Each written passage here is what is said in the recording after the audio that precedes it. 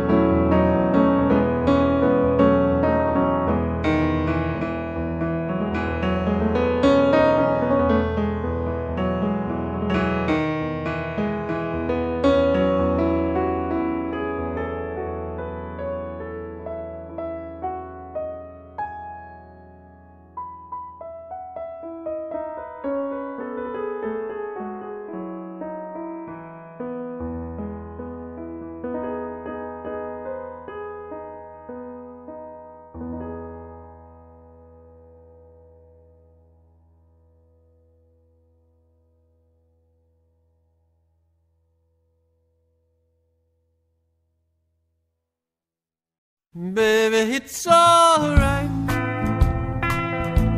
if you don't love me. Cause I can find someone new. I'm not lost without you. Baby, it's alright if you don't love me.